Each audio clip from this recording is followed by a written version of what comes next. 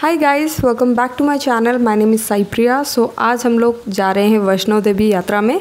तो अभी हम लोग हैं गुड़गांव मेट्रो स्टेशन में। हमारी जो ट्रेन है, वो आ चुकी है। अभी मेट्रो से हम लोग जाएँगे न्यू दिल्ली रेलवे स्टेशन।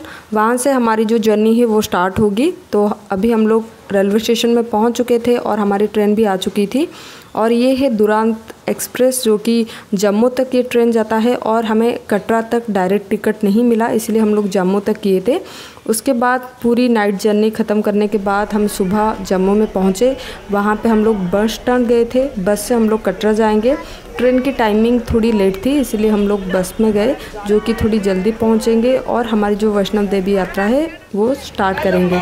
तो इसीलिए हम लोग बस में बैठ भी चुके हैं और वहाँ की नेचर की बात करें तो बहुत ही ब्यूटीफुल है। बारिश भी हो रही थी और आप देख सकते हैं पूरी एरिया जो है काफ़ी ग्रीन एरिया है। सो गाइस नेचर को एंजॉय करते करते मेरे घर वाले भी बहुत एंजॉय कर रहे थे और सुबह के आठ बज रहे थे तो वैष्णवी को भी नींद आ रही थी। बच्चे को लेके जा रहे हो तो उनका थोड़ा जो नींद वगैरह है वो कंप्लीट नहीं होती तो वो कभी भी सो सकते हैं। उसके बाद दस बजे हम लोग पहुँचे कटरा में। वहाँ पे अच्छे से फ्रेश वगैरह हो गए। अभी हमारी आईडी कार्ड लेने जा रहे हैं, जो कि आरएफ आईडी कार्ड है। यहाँ पे बहुत ज़रूरी है, अगर आप यात्रा में जा रहे हो तो। आईडी कार्ड लेने के बाद हम लोग गए भोजनालय में 12 बज रहे थे तो हम लोग लंच करके हमारी यात्रा जो है वो स्टार्ट करते। तो बच्चे को लेके आ रहे हो तो सही से जो वो खाना पसंद करते हैं उनको खिलाओ। तो यहाँ पे मैं ऑर्डर की थी राजमा राइस उसके बाद लंच करके अभी हमारी जो यात्रा है वो शुरू करेंगे। चेक पॉइंट तक आप यहाँ से ऑटो में जा सकते हैं, नहीं तो चल के जा सकते हैं। तो हम लोग ऑटो बुक कर लिए थे चेक पॉइंट में पहुँच गए, उसके बाद लंच करके आ चुके हैं चेक पॉइंट में। अभी बहुत लंबा लाइन है उसके बाद हम लोग चेकिंग करके और अपनी बैग को चेक करके हम लोग एंटर करेंगे। ज़ोर से बोलो। जय माता जी सो so गाइस आप देख पा रहे हो चेक पॉइंट में काफ़ी लंबा लाइन है। यहाँ पे आपकी यात्रा पर्ची और आईडी कार्ड चेक होती है। उसके साथ साथ आपके बैग में क्या क्या आप लेके जा रहे हो ऊपर, वो भी चेक होती है। तो इसीलिए थोड़ा सा केयरफुल रहे, ऐसे कुछ चीज़ ना ले जो कि अलाउ नहीं है। और यहाँ पे लेडीज़ और जेंट्स की जो है अलग अलग चेकिंग होती है। तो गाइस सिक्योरिटी चेकिंग में थोड़ा सा टाइम लगता है। अगर आपके फैमिली मेंबर रह गए हैं तो उनके लिए आप बाहर आके वेट करें। और वेट करने के बाद अगर आप फैमिली मेंबर या फ्रेंड्स के साथ साथ जा रहे हो तो मिल आपकी यात्रा जो है आप स्टार्ट कर सकते हो। तो हमारी यात्रा अभी स्टार्ट हो चुकी है। तो चलिए चलते हैं।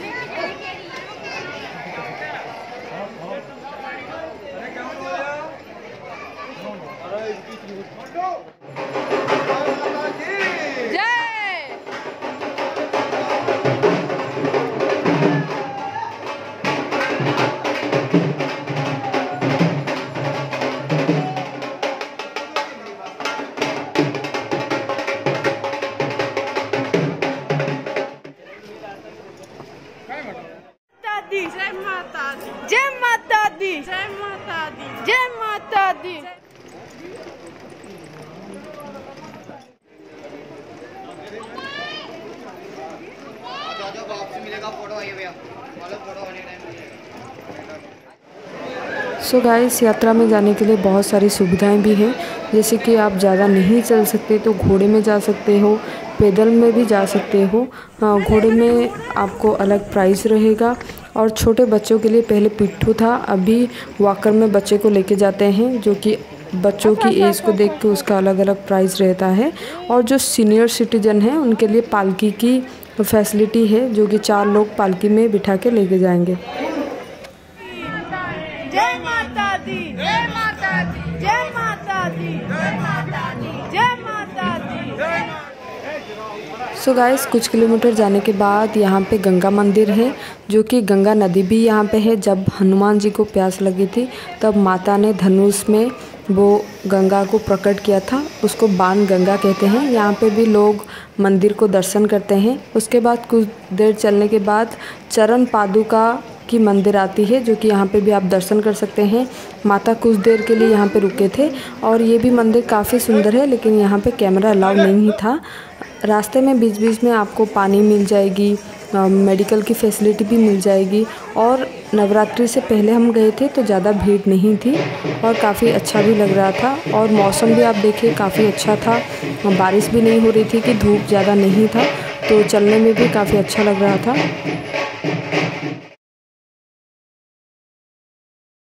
सो so गाइस अगर आप पहली बार जा रहे हो तो अर्धकुमारी के बाद आपको कोई सा भी शॉप वगैरह नहीं मिलेगा।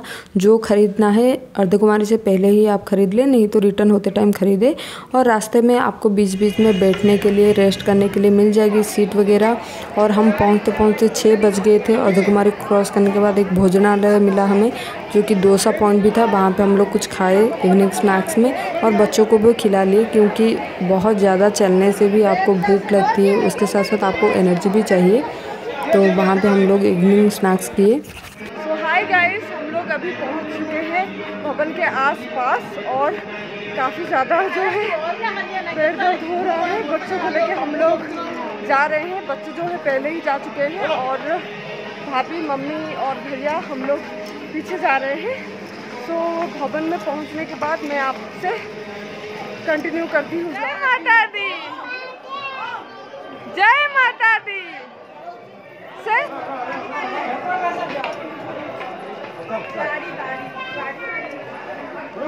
जय माता दी।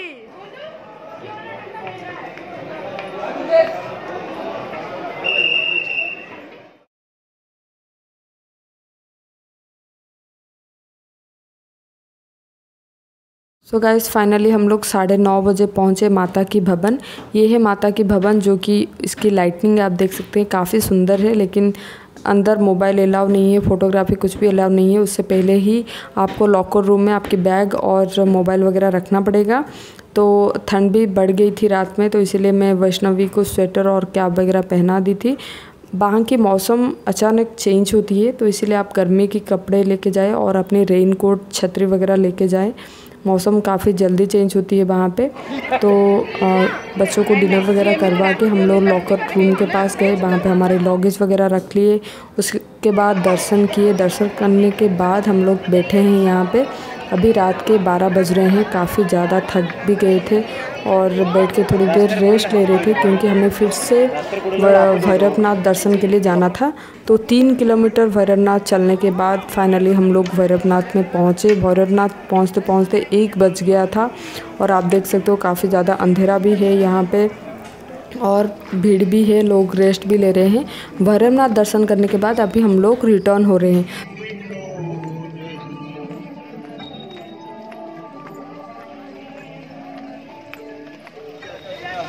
सुबह के अभी छः बज रहे हैं। फाइनली हम लोग नीचे सुबह छः बजे पहुँचे उसके बाद होटल आए।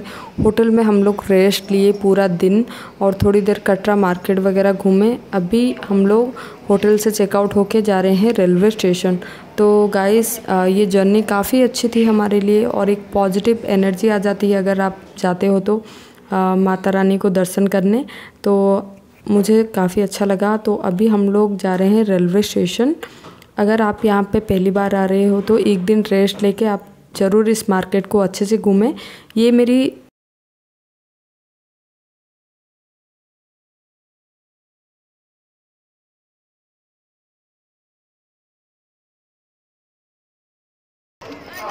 सो गाइस फाइनली हम लोग पहुँचे कटरा के रेलवे स्टेशन में और सात बजे हमारी ट्रेन थी। तो यहाँ पे थोड़ा फ़ोटो वगैरह हम लोग लिए और ये बहुत बड़ा रेलवे स्टेशन है। जब यात्री वगैरह आते हैं तो काफ़ी ज़्यादा भीड़ रहती है। तो अभी भीड़ नहीं था एंड आप अंदर से आपको दिखाऊँगी कि ज़्यादा क्लीन भी है। उसके साथ साथ बहुत बड़ा रेलवे स्टेशन है। तो हमारी ट्रेन जो है वो आ चुकी है। अभी हम लोग ट्रेन में बैठने वाले हैं। डिनर करके रेस्ट लेंगे। आई होप हमारी जो ये वैष्णो देवी यात्रा की ब्लॉग आपको पसंद आई हो, अच्छी लगी हो। जय माता दी। Thanks for watching. Bye bye guys